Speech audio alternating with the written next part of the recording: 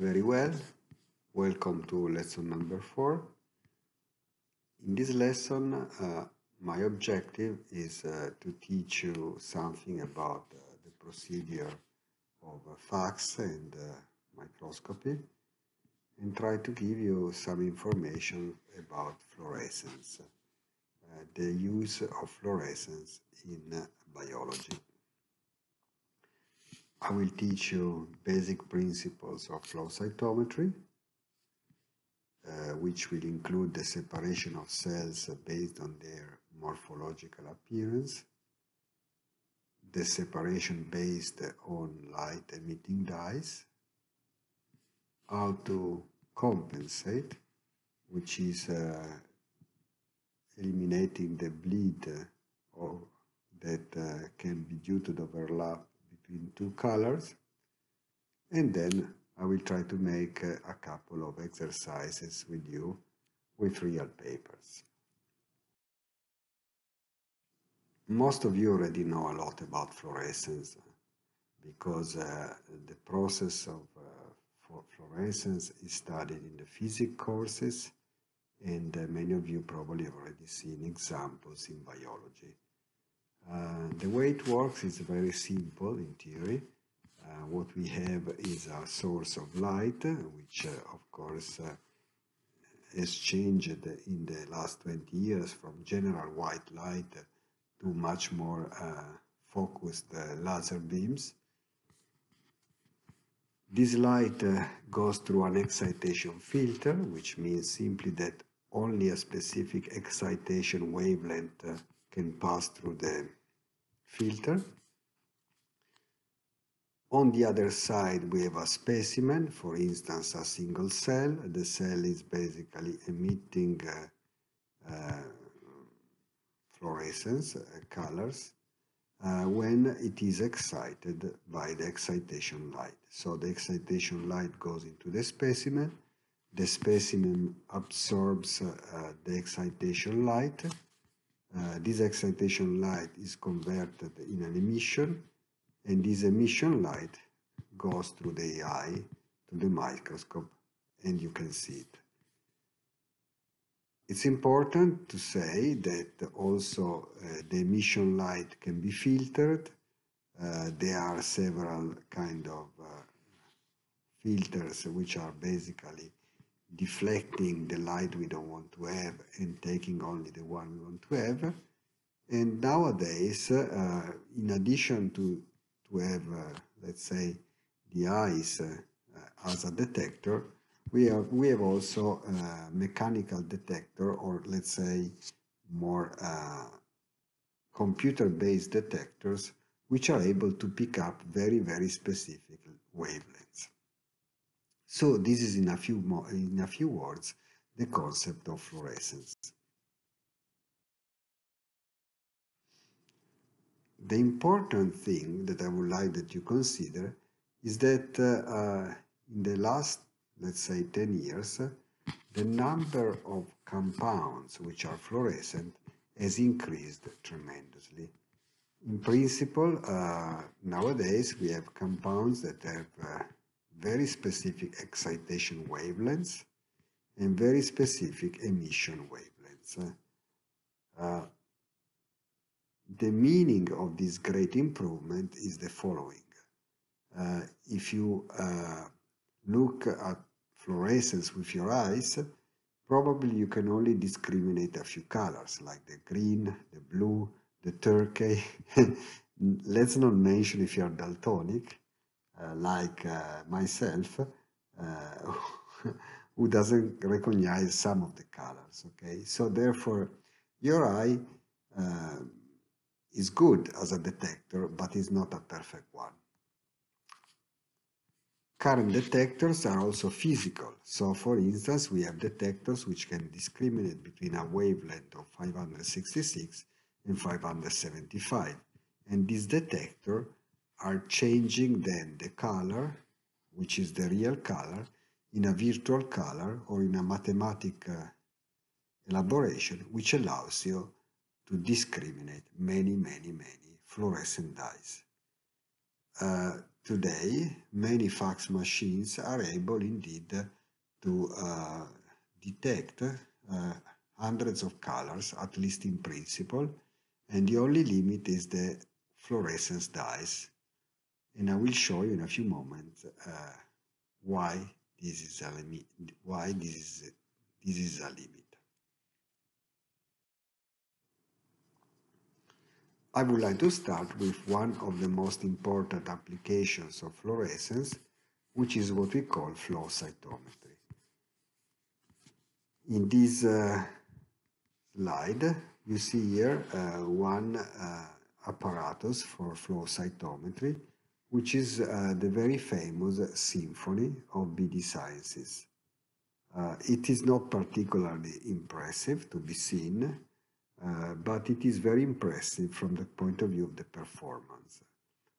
Uh, the cost of this apparatus is around uh, on the order of uh, 100,000 euro plus maintenance, which means it, it's quite high, but at the same time it can be afforded by several laboratories.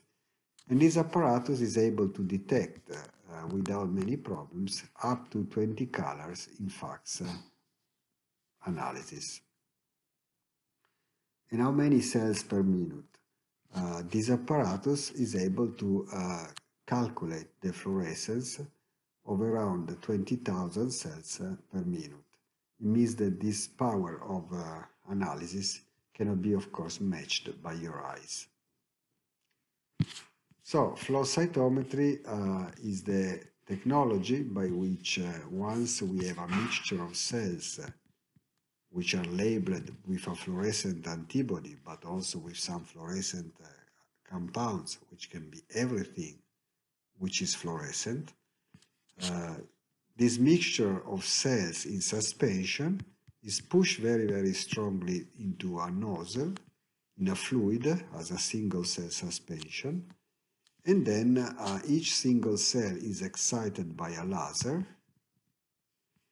Uh, the cell is emitting some kind of uh, uh, wavelengths which depends on the fluorescent dyes which are inside.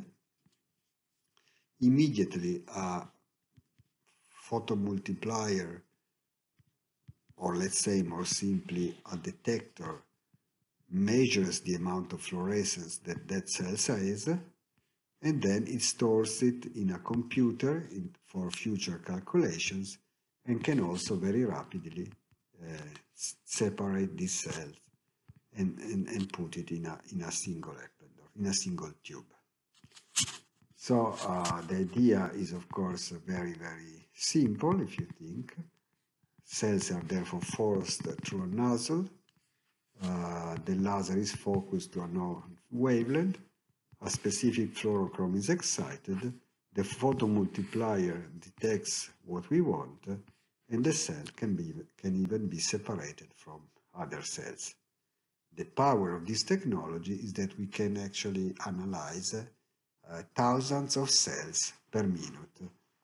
And of course, uh, this cannot be matched by our uh, brain and by our eyes.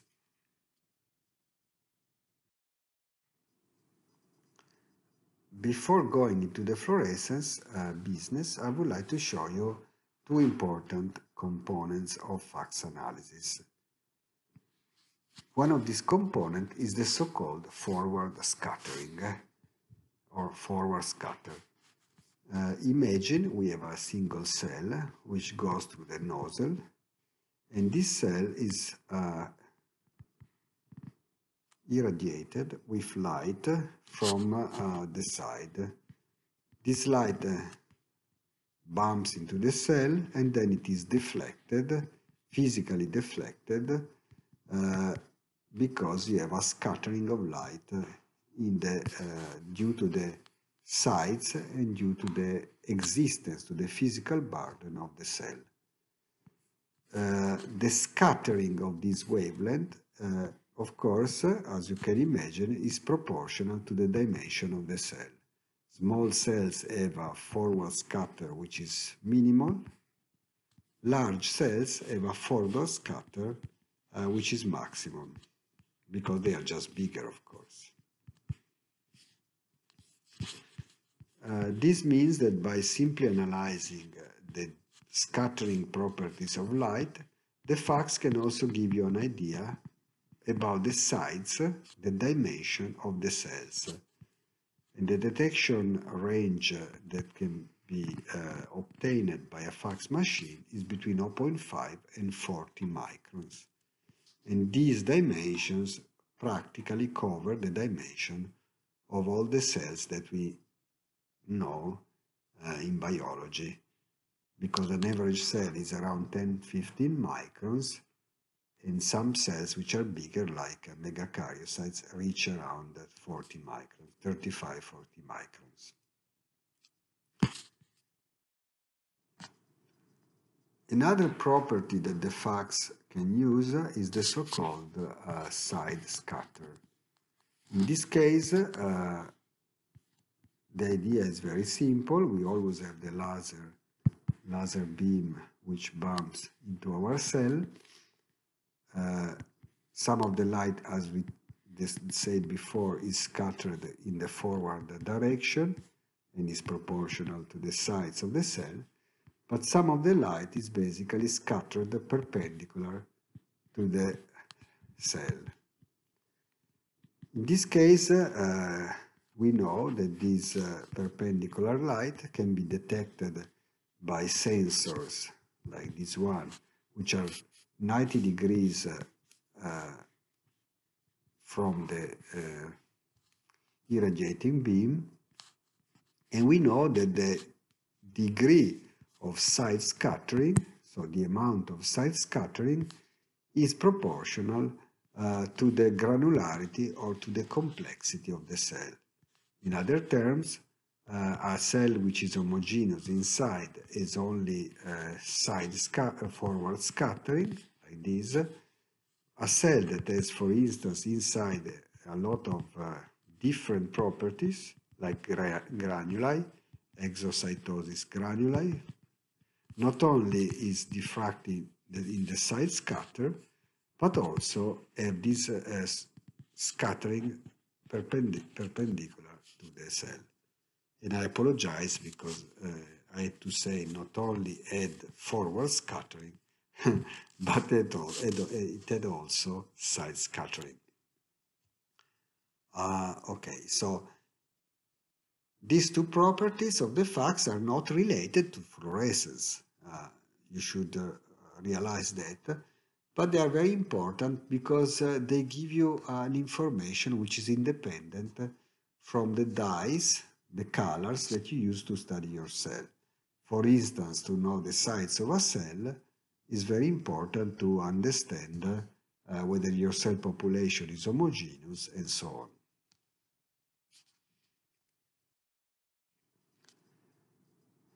In this slide, you see an example of a forward and side scattering.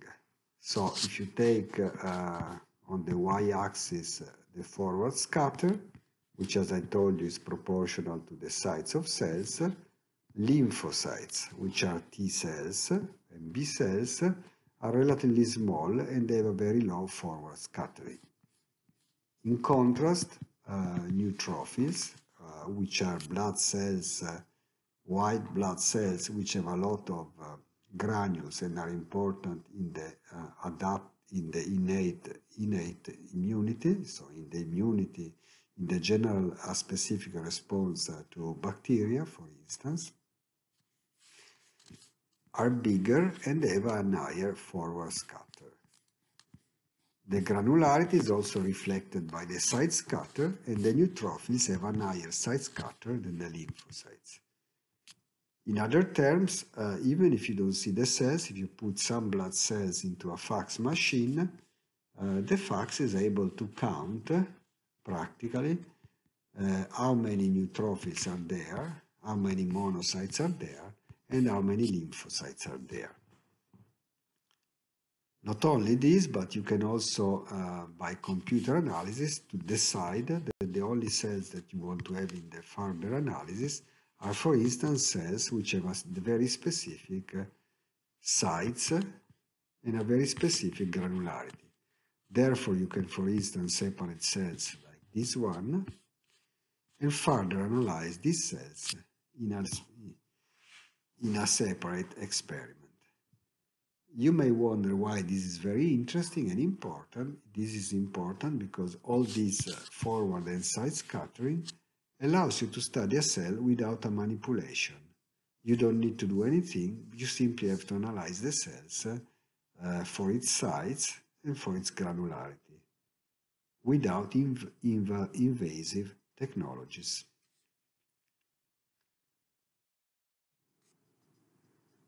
In this picture, we see simply uh, a figure which shows you red blood cells, which are these ones. Uh, then we have uh, several types of, uh, of uh, granulocytes, uh, neutrophils and eosinophils. And then we have the appearance of lymphocytes. As you can see, the FACS is able to detect the differences between these two cells and to measure them and therefore is very powerful, powerful in this type of analysis. Uh, if you want to have some fun, of course, uh, you can uh, look at this uh, image and also find smaller fragments like these, which are likely platelets, uh, the smallest uh, fragments of cells that you can find in the blood. and I hope you know what is a platelet. Uh,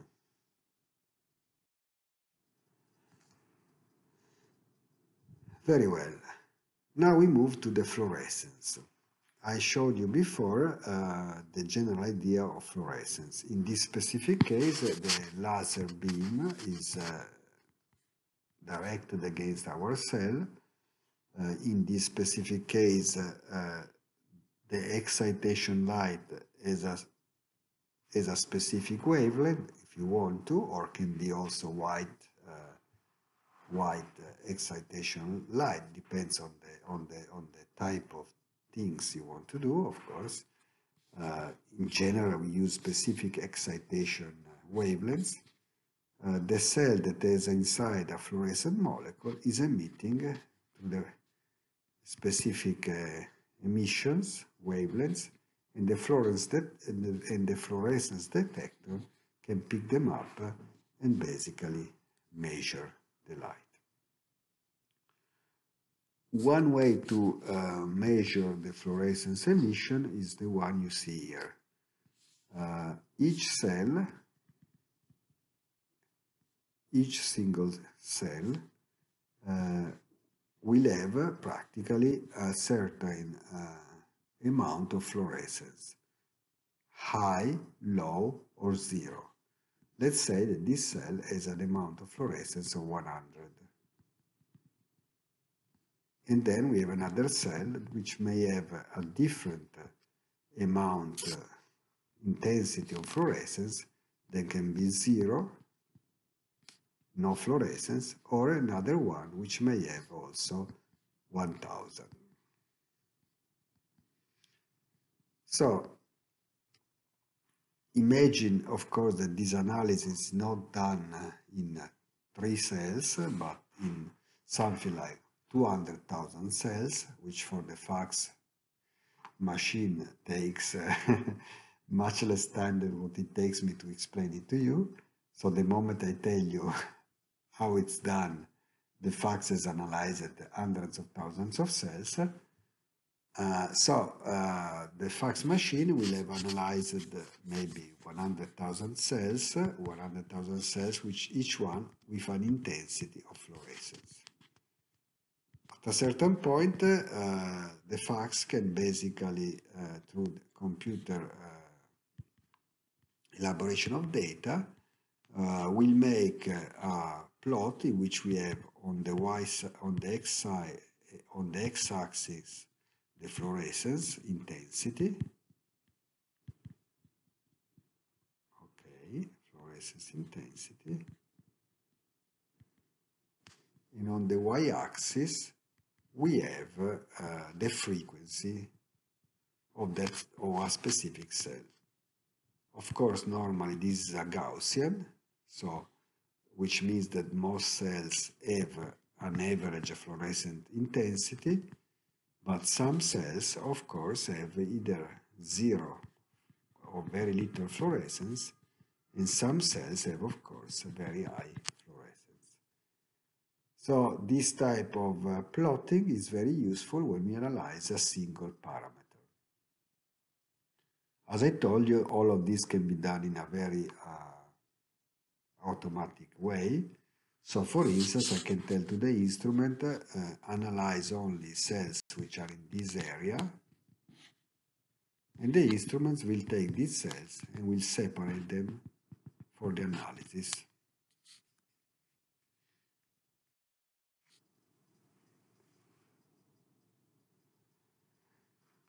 The limit of FACS analysis uh, is only, uh, well, let's put it like this. Uh, the limit of the FACS analysis is not very much in the physics, because the detectors can be very, very precise and specific, but it's in the fluorochromes. Nowadays we have hundreds of fluorochromes and these are the fluorochromes are the important part of FACS analysis. In this slide, uh, on the right part of this slide, you see uh, four fluorochromes which are very, very uh, used and very important. We have the so-called emission in the green, with uh, the green fluorescent protein, for instance. We, are, we have emission in the, in the, in the red, in the, in the far red, uh, we have then another emission in the what we call the propidium iodide in the 620 nanometer range, range of, uh, of red.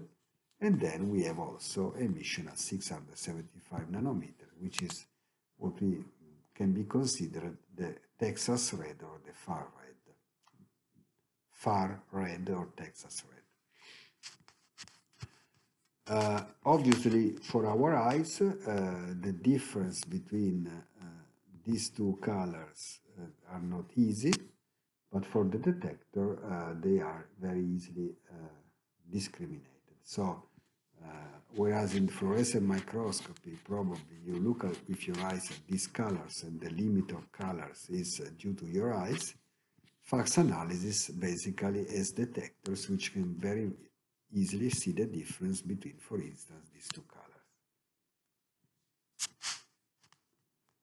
This said, uh, there is some problem, there are some problems which we have to look at in a few seconds.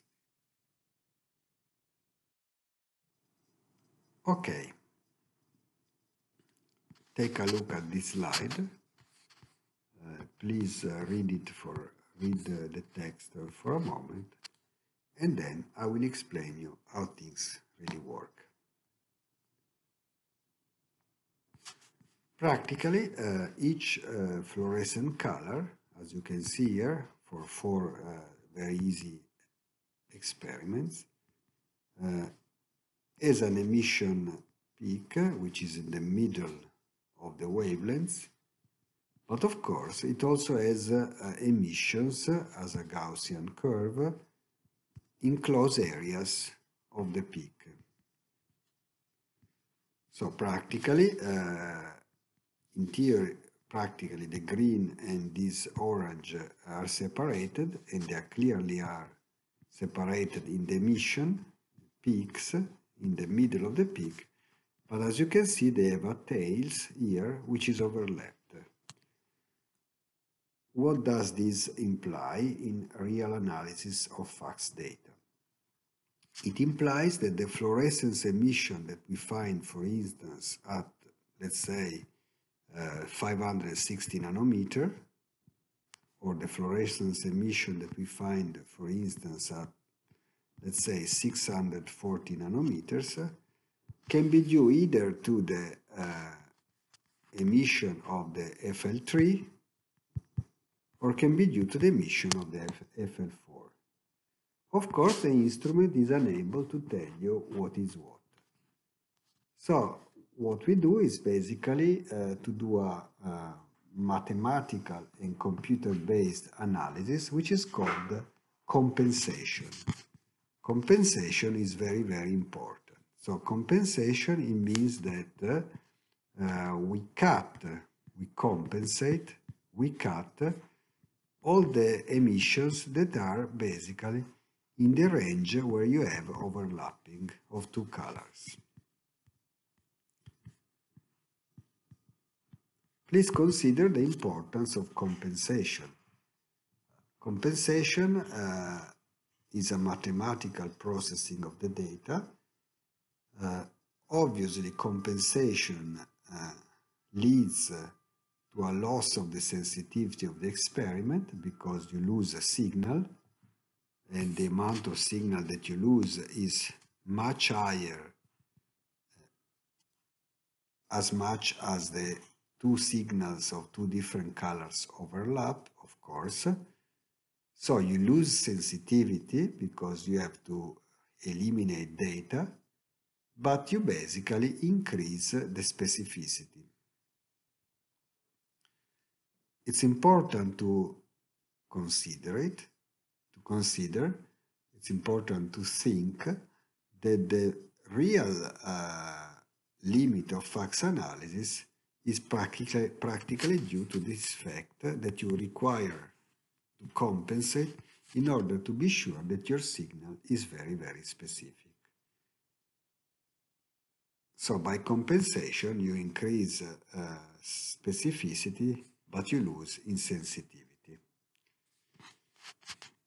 If you read uh, what's written here, uh, practically, uh, how do you calculate or how can you know how much you have to compensate? Of course, you can do it by experimentally, by putting a single color in your experiment, look at the emission of that single color, uh, do the other experiment with the other color, look at the emission of the other color.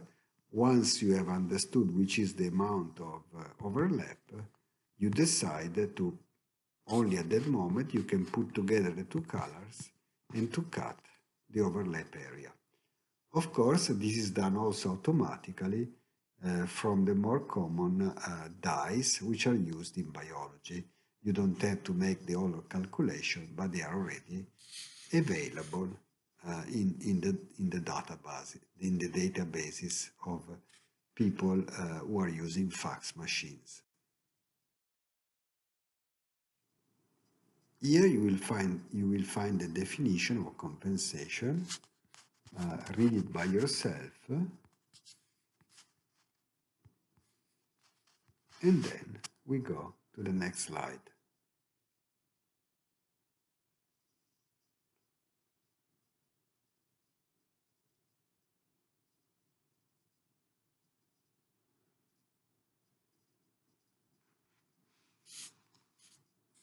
Okay.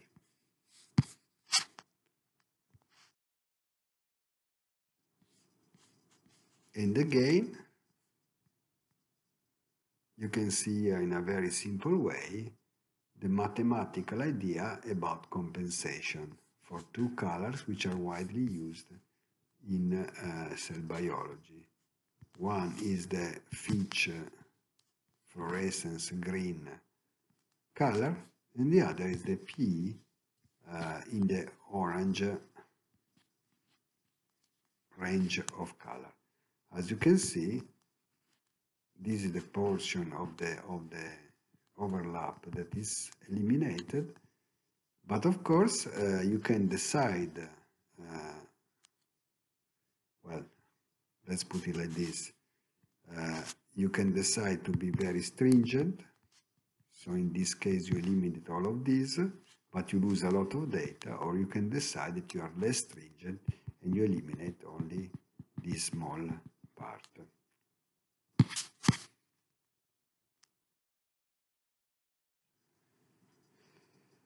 I would like now to uh, go back to uh, the one parameter histogram, which is a way to analyze fluorescence intensity for a, for a population of cells.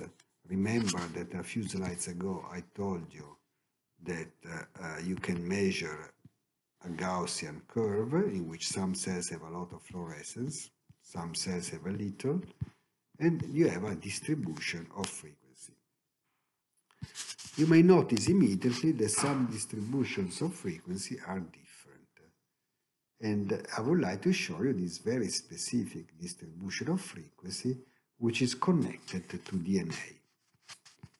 In this specific case, imagine that you have a cell and you give to the cell a color like uh, propidium iodide, uh, which is basically binding DNA. And it is fluorescent. Uh, you immediately uh, realize that cells which are uh, in phase you may remember the cells have cell cycle phases. So for instance, you go from G1 to S phase to the G2M phase. Okay. Uh, which means that in the S phase, the DNA is duplicated. So if you take a population of cells which are cycling, which are in active proliferation, of course, the cells that have undergone the S phase have duplicated their DNA and have uh, twice as much DNA as the cells which are in the G1 phase. The cells that are in the G1 phase have, of course, half of the DNA of a cell which has undergone the S phase. So this is, this is therefore an example of the distribution of uh, the DNA signal in the FACS machine. So these cells have already duplicated their DNA. These cells have not yet duplicated their DNA. And these cells, which are in the middle, what are? Of course, these cells are the cells which are in the S phase which are currently duplicating their DNA. So this is an example of one parameter, parameter histogram, which is very interesting for studying uh, cell proliferation and cell cycle in a cell population which is analyzed by FACS analysis.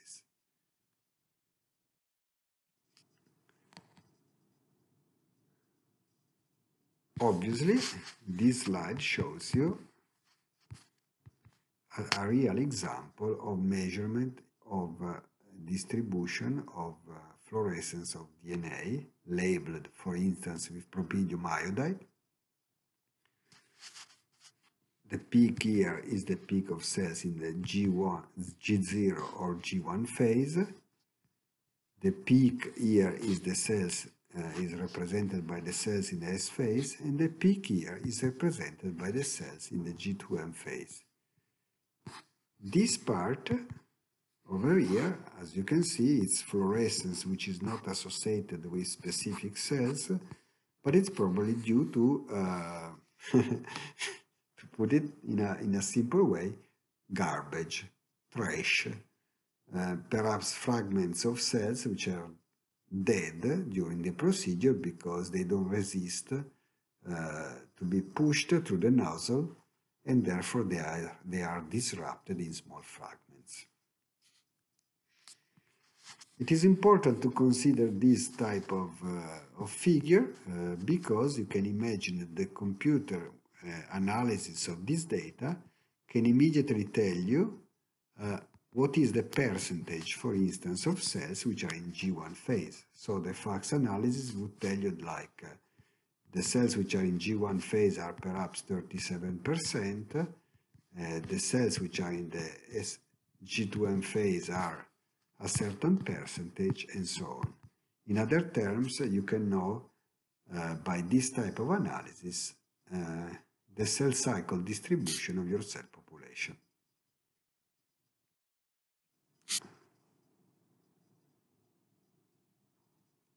Let's now make a small example and a small uh, experiment which uh, helps you to understand this very important concept. A normal uh, population of wild-type cells, as indicated here, uh, would have a DNA content which, is, which has a peak in G2M, a peak in G1M, and something in the middle, which is uh, all what is in the S phase. Our uh, machine is calculating the frequency of these three, three peaks. So, for instance, uh, the machinery uh, may tell you that uh, this peak is around 40%. Now,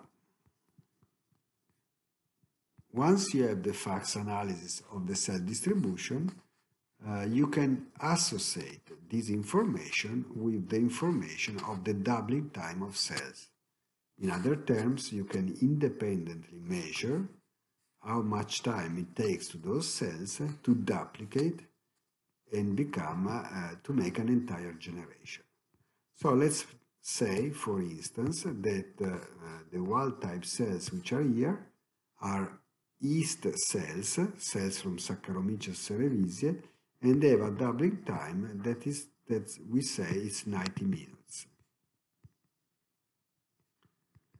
Once we know the doubling time and the frequency of the G1, the S, and the G2M peak, which is here, of course, putting together this set of data with this set of data, we can calculate for each phase of the cell cycle what is the length and what is the percentage.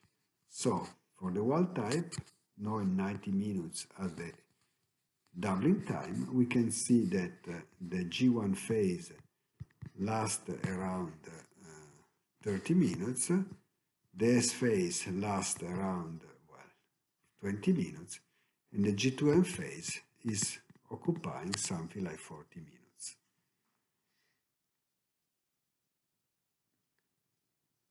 Now, imagine that you have a, a, a, series of mutations that you experimentally do, or treatment would be the same, to these cells. And the simple analysis of the FACS, as you can see, can tell you immediately if the cell cycle distribution is different. So let's, for instance, take a look at uh, one mutant, one that we take uh, by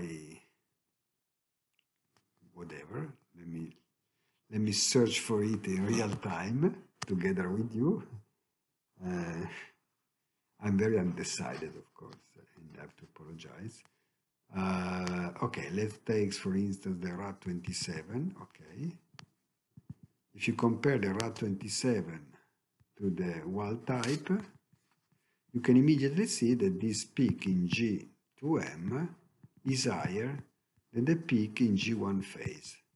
It means that in these cells, the cell cycle uh, is delayed in the G2M phase progression, in the mitosis progression. So the cells don't enter the mitosis because they stop at the G2M boundary. If you look here, indeed, you see the G2M percentage is higher, since we know that the fact that if we measure the doubling time is longer than the wild type, is 125 minutes, okay? And we can also say that the prolongation of the cell cycle is specific for the phase of the S, S and the G2M phase. So indeed, this is a mutant which is basically uh, important in DNA replication. DNA replication is delayed and therefore we have an increase of these phases. You can take a look and see that uh, if you have mutants in the checkpoint of replication, you have uh, some specific defect, like uh, in this case, have, where you have an increase uh, in this case would be uh, this one where you have an increase uh, clearly in the in the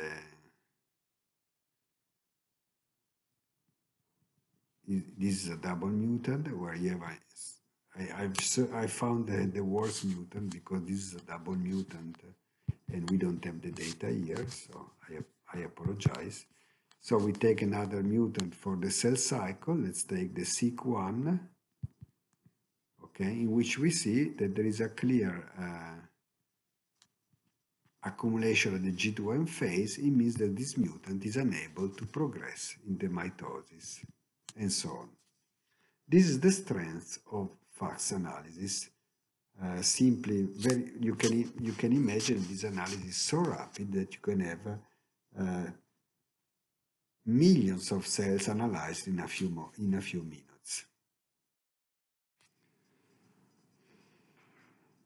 Very well. What happens if you are analyzing, uh, of course, uh, two parameters together?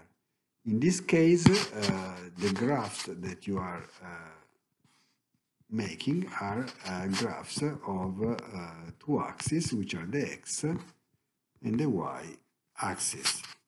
So let's take an, another example here. Imagine that we analyze for the presence of protein A as detected by fluorescence in the presence of protein B as detected by fluorescence.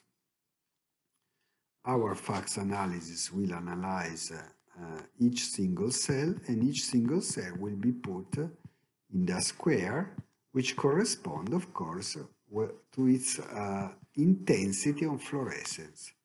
So for instance, the cells that I put here is intensity of fluorescence A, uh, like middle, and very low intensity of fluorescence B. If we take this cell, of course we have high intensity of fluorescence B and middle intensities of fluorescence A. Again, our FACS machine with the computer uh, analysis can make a graph which represents two measurement parameters on the x and y axis and therefore uh, a topographical map, map of cells which are positive for both A and B, cells which are negative for both A and B, and a mixture of the two cells. Very well. Uh, we have finished the last module uh, looking at the uh, examples of uh, two parameter histograms. Uh, in the two parameter histograms, we study two different uh, genes, the gene A and the gene B, for instance, by fluorescence. And of course, a single cell can be positive for both gene, for gene A, but not for gene B uh, can be positive for both and so on. Now, uh, this uh, uh, you, you may see in this graph that we have arbitrarily divided uh, the four clusters of cells in four different groups. But of course, uh, this is a decision that we make. In reality, it's not that the cells are, in, to begin with, it's not that the cells have specific features, okay? So in other terms, uh, I'll show you in a moment what I mean. I'm kind of confused right now, sorry. I apologize. Anyway, uh, so gating, okay? What is gating? Gating is uh, a, a technical procedure that we start and we decide in a given type of cells uh, what is the gating, what is the parameter that we consider important. So in other terms, imagine that we study uh, five cells, which are basically uh, analyzed for two type of parameters, A and B, okay. Okay, these are the five cells, parameter A and parameter b. Now, uh, how do we decide, how do we decide which cells are positive both for A and for B? Okay, so this is the question. Of course, you can say, well, that's easy. This one or this one, this one is certainly not positive for A and so on. In reality, uh, this is a decision that we take. So we do gating, so we decide where to put the line between a cell that is positive for A or which is negative uh, and, a, and a line in the cell that is positive for B or is negative. So for instance, if we consider B, we can decide that the line is here. So all the cells which are on the right are positive for B, but we can also decide that the line is here. And in this case, we have four cells which are positive for B and not three. Uh, similarly, we can decide that the, for the cells which are positive for A are only these three one, these two one, sorry, or we can decide that are also uh, also this one is positive. So therefore, gating is where we put uh, the borders between positive and negative cells. This allows you may imagine that if we are analyzing a lot of data, this procedure of gating allows us uh, to uh, view, to focus on the cells in which we are very interested of. And, and therefore we decide the data that uh, we either ignore or we discard and, and, and we don't look at them. The positive thing about this uh, issue of gating is that uh, gating is a decision that we can make. Therefore, we can subsequently change gating uh, when we reanalyze the data because uh, uh, the data are not stored with gating. So all cells are stored simply as a distribution uh, like this. And then uh, we can decide that the gating is here or there every time we analyze the data. Of course, uh, gating is, is also a problem uh, if, if you are, are not very honest with your data, because obviously uh, if you compare two samples, sample one and sample two, uh, the minimal uh, thing you should do is that uh, that you use the same gating parameters. Otherwise, it's not fair. And I tell you this almost laughing because sometimes uh, when you review papers, articles, you have some scientists that indeed uh, they do something which is a bit uh, like they try to, to kind of uh, use two gating, two types of gatings in data, and of course this is not, uh, not fair. So uh, in this case, as you can see, if we, get, if we make a gating for forward scatter and side scatter, we can analyze only the population of lymphocytes, obviously. Okay, so uh, uh, this is another example, of course, of, of, of uh, gating. Uh, obviously, this uh, is an ideal example. And as a matter of fact, in reality, you never have this type of situation very often you have a situation in which in the middle you have a lot of things here and you have to decide what you do about it. So there is a real difference, of course, from real science in the, in the science that, you, that, that we teach. So many cells uh, would be like maybe they have one spot orange here uh, or whatever. Okay, so here uh, I show you a real example of how things are done with uh, subsequent gating. And uh, um, this slide is a bit complicated, but uh, we can do it with, uh, with some time.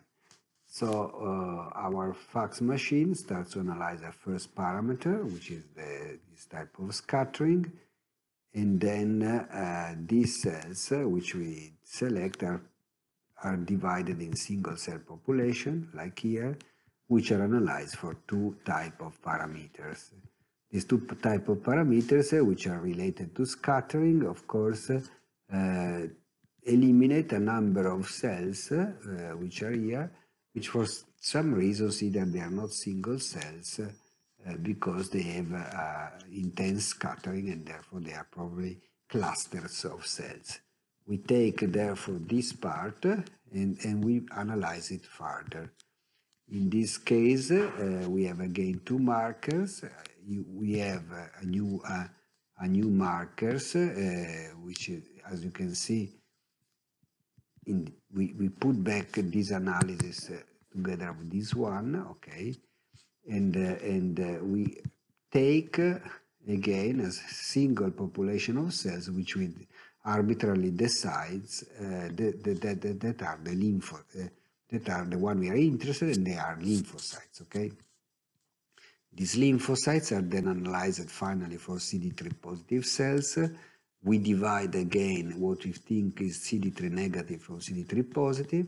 This is the CD3 positive group of cells. And this CD3 positive group of cells is then analyzed for living dead cells. And again, we make a gating. And these are the living cells that we have. Uh, similarly, uh, another procedure, it's uh, then we take the CD3 positive living cells, which are exactly derived from here. Uh, we stain them for CD4 and CD8. Uh, and then we define, for instance, the population that is CD8 positive, which goes down here. This population that CD8 which is CD8 positive, is analyzed for CD45RA and, and CCR7. Again, we will have cells which are uh, positive uh, for CD45RA but negative for CCR7 here. We have cells which are positive for both which are here. Uh, we make again another gating. We decide that this one is the gate that distinguishes uh, the, the, the, as you can see here, the various population. Each one then is classified, and we know it from the literature, for instance, those are naive T cells, and these are memory T cells. But then we take again a specific population and we reanalyze it with another uh, marker. And at the end, we get the CD38 uh, negative cells, which are here, which are, of course, effector memory.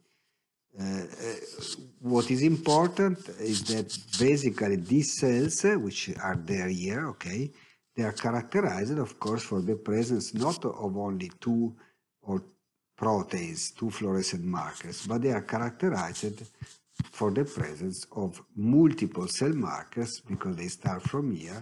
The analysis continues like, like this and all like this till we arrive at the final result. So these cells are indeed characterized for the presence of multiple markers. Uh,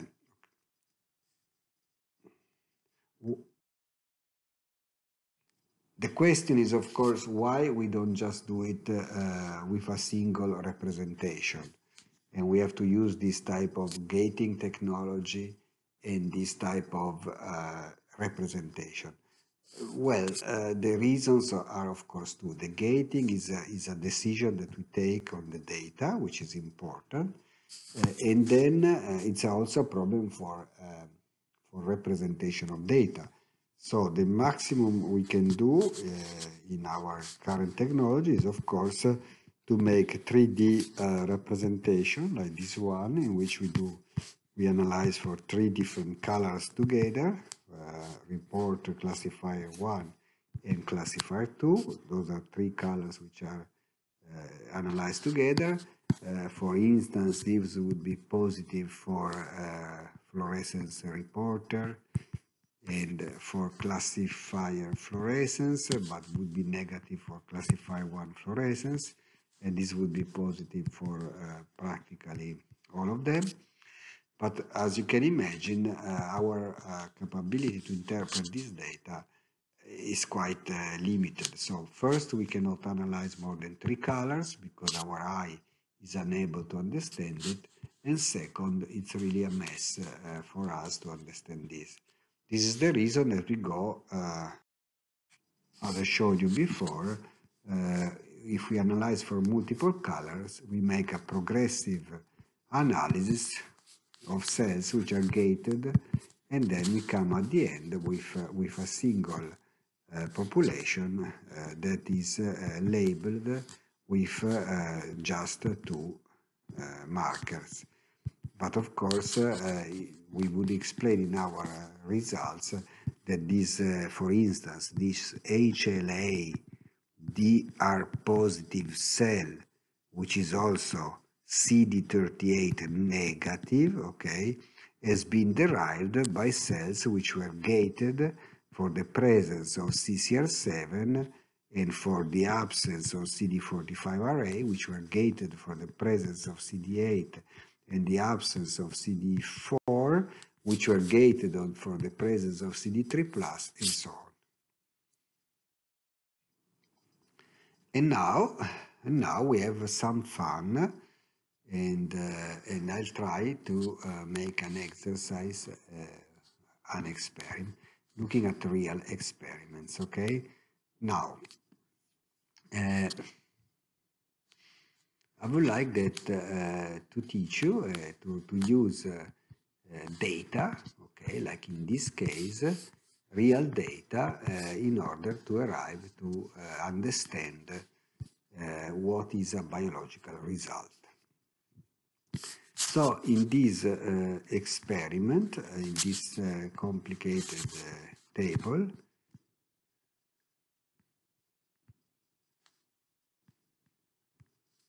in this complicated table, uh, there is an analysis of uh, uh, two experimental groups.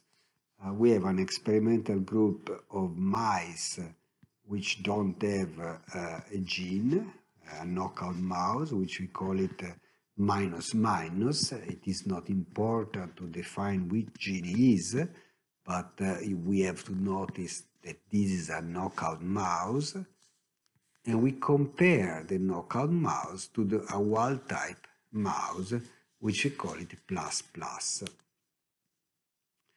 In this uh, uh, number between parentheses, we see that uh, the data come from seven, seven animals in the minus minus mouse and come from six animals in the plus plus mouse. Now, uh, our FACS machine basically uh, make the first analysis, which is the scattering, the forward scattering, which is indicated here. FCSH is the, the forward scattering.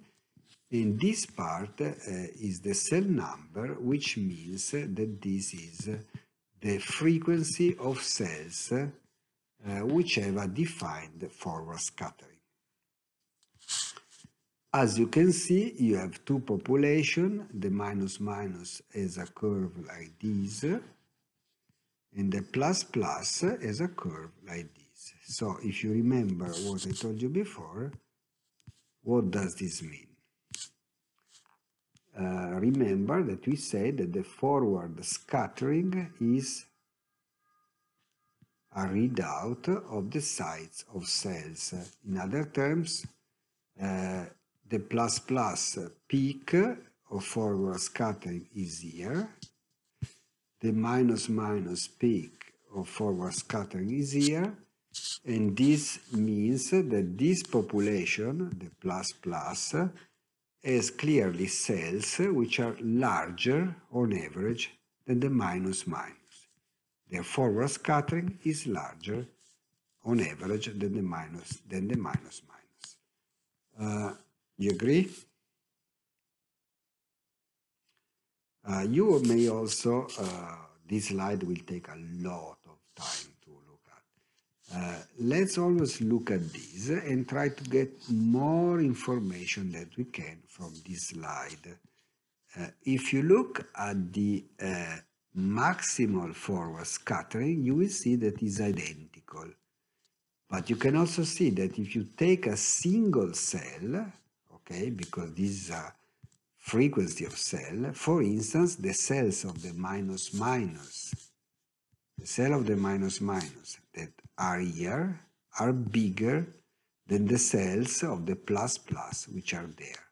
So this is the importance of the FACS analysis. By analyzing uh, millions of cells, uh, we know that the average size of cells of the minus minus is lower than the average size of cells of the, of the plus plus, but of course uh, doesn't mean that all cells of the minus minus are smaller than the cells of the plus plus. Very well. Now uh, we have looked at cells which come from this mouse, okay, and we have uh, measured uh, their size And now we ask the question of the mice. What is their weight, their body weight? So those are two curves of uh, basically uh, which we where we measure the body weight of plus plus mice compared to the body weight of minus minus mice. And as you can see, uh, the body weight at day zero, so when they are born, is around 2 grams. And at one month of age, the body weight of these mice is around 25 grams. It's important that you immediately perceive and you ask your question, is the body weight of the plus plus mice different from the body weight of the min, min, of the minus minus? The answer is no. The two body weights are uh, in reality very, very similar. Of course, there is a small difference, but this difference is not really significant. Okay, so summarizing, obviously, uh, the minus minus, okay, mouse is uh, cells which are on average smaller than the plus plus mouse, but the body weight of the mouse is identical to the between the two groups.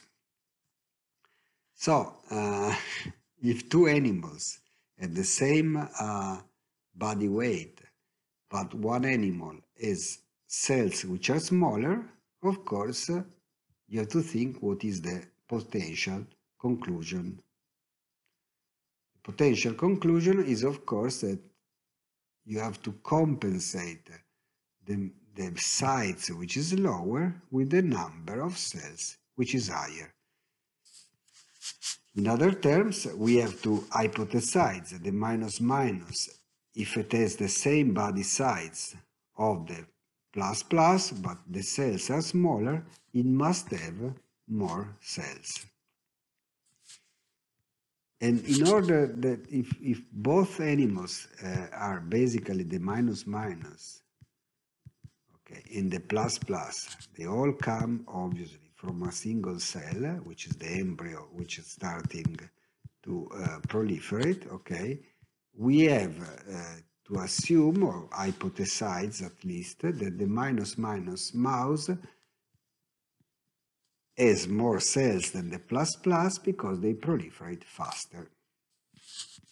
So we take basically uh, the plus plus cells from the mouse and the minus minus cells from the mouse, we put them in culture and we measure uh, their speed of duplication, the number of cells which are formed in time. Uh, as you can see here, the plus plus uh, mice have a duplication time of 30 hours, uh, the, the cells, whereas the minus minus has a duplication time of 96 hours. So this would tell you uh, what uh, I know it, of course, but you should think about it. I'll give you a few seconds and then I will uh, go on. This will tell you that the minus minus cells proliferate faster. They are smaller than the plus plus and this explains uh, the reason why they have the same sides. The mice have the same sides.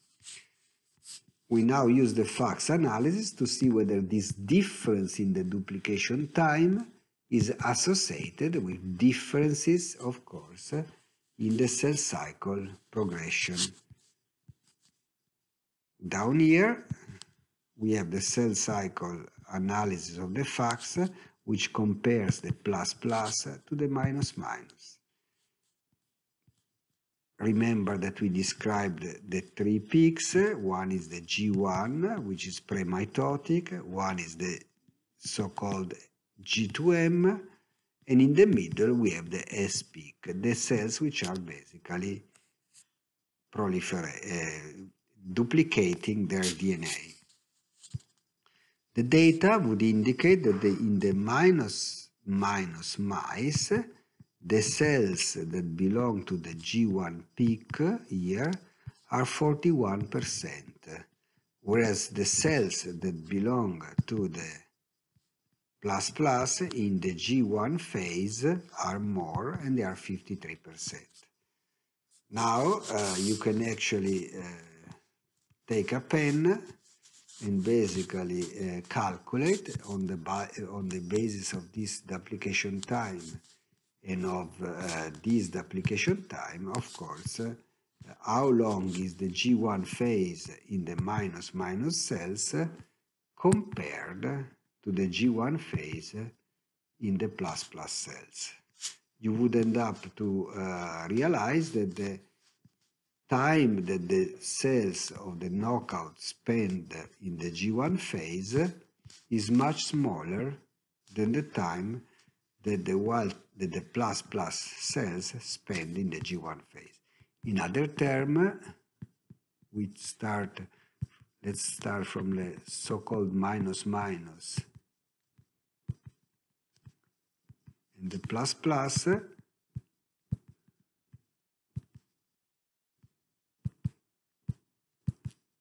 the plus plus putting together all the data, okay, it takes a lot of time to become like this, okay, and then to divide into small cells, okay.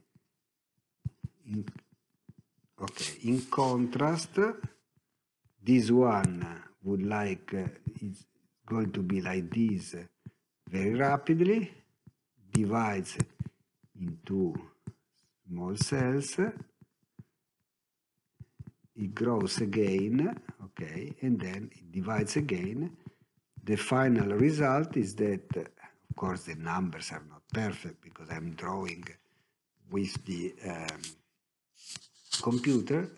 The minus minus has the same mass as the plus plus when we look at the animals up here, okay?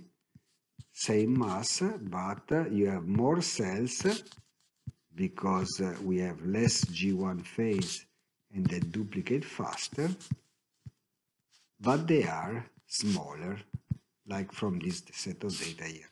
So in other terms, by this very uh, complicated analysis, by this very simple analysis, you conclude that the minus minus mice have smaller cells which proliferate faster and probably the gene which we are studying as a role into the cell cycle progression, deciding when cells uh, go from the G1 phase to the S phase and then, and then to division. Last but not least, uh, the dogma of biology, you, I, probably you remember what it is. The dogma of biology uh, tells you, more or less, that uh, each cell has a const of your body. Uh, it's of course an approximation, but all the somatic cells of your body have exactly the same amount of DNA.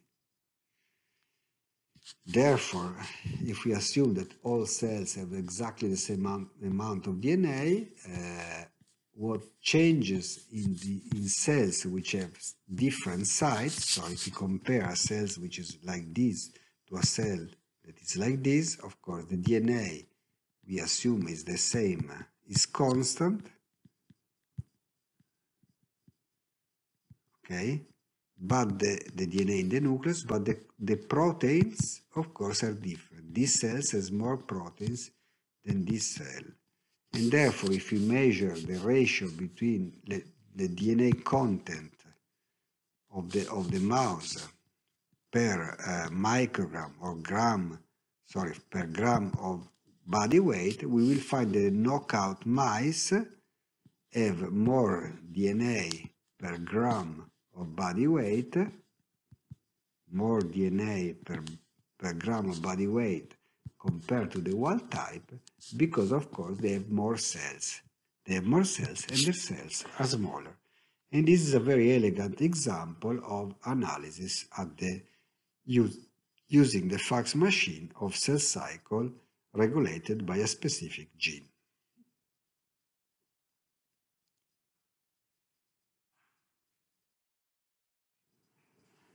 you may, of course, wonder if the previous uh, slide, the previous experiments, uh, why I did show them to you. And the answer is because uh, in the examination you may have uh, a couple of pictures, very simple ones, of course, like the one I showed you before, uh, and you have to interpret the data and tell on the basis of what you see what would be your conclusion to a specific question. Uh, much easier than what you think, don't worry. In this slide, we have an example. This one comes from uh, work done in our laboratory, in which we compare two genes, which I have cloned, I mean, one gene, uh, which is called the F6, which I've cloned uh, many years ago. So you can go online and you see a lot of things about uh, this protein. And uh, we also made uh, two models, which are the plus plus mouse, so the wild-type mouse, and a mouse, which we call it plus minus, here in red, uh, which is a, a, a, mouse which has lost one allele of the gene. So in this case, we were looking at uh, cells which are very, very large. They are known as megakaryocytes. Uh, megakaryocytes are the precursor of uh, platelets. So the platelets, as you know, are the small fragments of cells which are in the blood and they're very important for coagulation. So if you have a lot of platelets, uh, your blood is coagulating faster than if you don't have a lot of platelets. And this is positive because if you have a wound, a lot of platelets help you to recover faster, not dying for hemorrhagia, hemorrhagic seizure, so you don't lose blood so rapidly. But of course, if you have a lot of platelets, you are also you are also at more risk for uh, cardiovascular disease because if they coagulate in your veins, you get uh, uh, occlusion of the of the artery. Now, the megakaryocytes, which are shown here, uh, are cells which are basically making what we call endomitosis. It means that they become uh, bigger and bigger because at a certain point uh, they remain with uh, uh the DNA. Uh, they make mitosis, but they don't separate uh, the, the cytoplasm. Therefore, we have a nucleus which has, for instance, four cycles of mitosis. So therefore, we have uh, instead of having the normal di diploid DNA, you have, for instance, eight times more. So here is a FACS analysis again of the uh, of the DNA contact in the plus plus compared to the minus minus. Uh, you have different peaks. You can immediately see uh, that there are small differences, uh, but very evident. So look at these two peaks which are almost the same. In this case, this one is smaller than this one. If we actually uh, overlap these two peaks, the plus plus and the plus minus, we have this type of da data. If we look at FACS analysis, okay, we put it in an histogram, we see that the uh, minus, the, the red uh, mice, the plus minus, have more, more cells which have diploid DNA compared to the, to the wild type, but they have less cells which have 8N, 8N DNA. So, in other terms, uh, the question is, well, what happens? And you should uh, make uh, reasoning by yourself.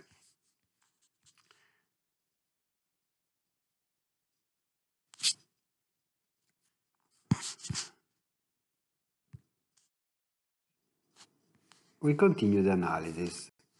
We con As I told you, the first part of the analysis shows that in the EF6 plus minus mice, we have less cells that have 8N uh, DNA and more cells which have 2N DNA. And the hypothesis that the reasons uh, for this is that uh, endomitosis is impaired in the EF6 plus minus mice. Why is that? Because if uh, uh, auto-duplication of DNA, you have first 2n, 2n, then you have the 4n, and then you have the 8n, okay?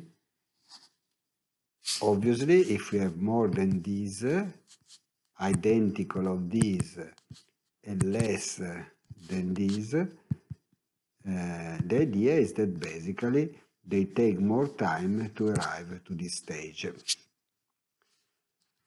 If this is true, now if we use the FACS analysis and we use a, ma a, marker for DNA synthesis, we will see that in a given second, uh, the incorporation of uh, BRDU, of, the DNA synthesis marker in the plus minus cells is of course lower than in the plus plus.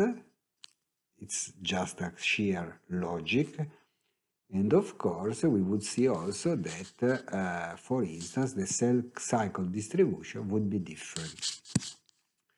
So uh, look at this now, okay?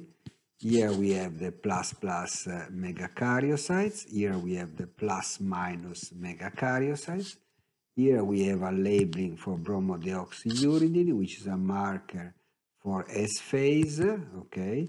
And here we have a DNA markers, that is AAD, which label cells which are in the phase uh, uh, G1, there is no much DNA, and in the G2M if they have incorporated more DNA. To cut short a long story, uh, the table, okay, you can see it by eyes, uh, obviously that here cells are, are, a bit more uh, than uh, than, than, than here, okay? But the FACS is able, of course, to give you a number.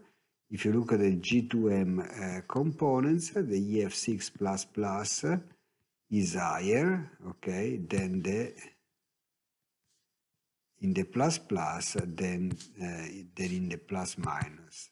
Also, the S phase, which is indicated here, it is basically again lower in the G in the plus minus and if this is less and this is less of course this is going to be more and this is what we see. In other terms this data uh, confirm the hypothesis that uh, this uh, result is due to the fact that in the absence of one copy of EF6 uh, cells uh, proliferate less because they stay more in the G1 phase and they take uh, and they, and therefore they don't enter the S phase and obviously the G2M phase.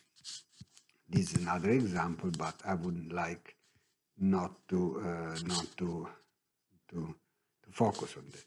If you also look for markers of differentiation, which are for instance CD41 and CD42, which are markers for the final uh, differentiation of megakaryocytes. Uh, as you can see, we make arbitrarily, as I told you before, a gating. The gating is this and this, and it's a gating that we decide uh, ourselves, of course.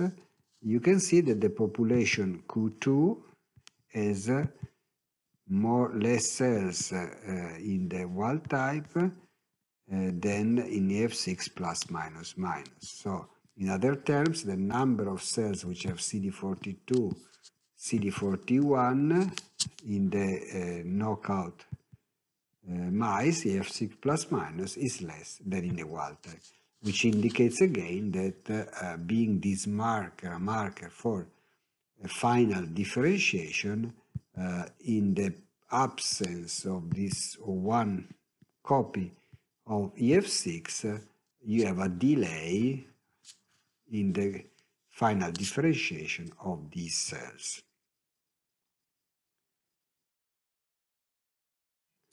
To close the lesson of today, I would like that you try yourself uh, to understand things and uh, to make an exercise at home. So these are sequentially uh, organized gatings. We have the first one here, okay, and then this population, as you can see, is taken further analyzed, okay, which gives to this type of analysis, and then this population is further analyzed in this type of analysis. Also, this one is taken here, analyzed here and here, okay, and again, similar to that. And now uh, the test that you should do it by yourself, if I would ask you, for instance, what is the uh, pattern of expression of markers of this subset, like Treg, you should tell me that Treg express, for instance, whatever, and they express, for instance, whatever. You do yourself the analysis.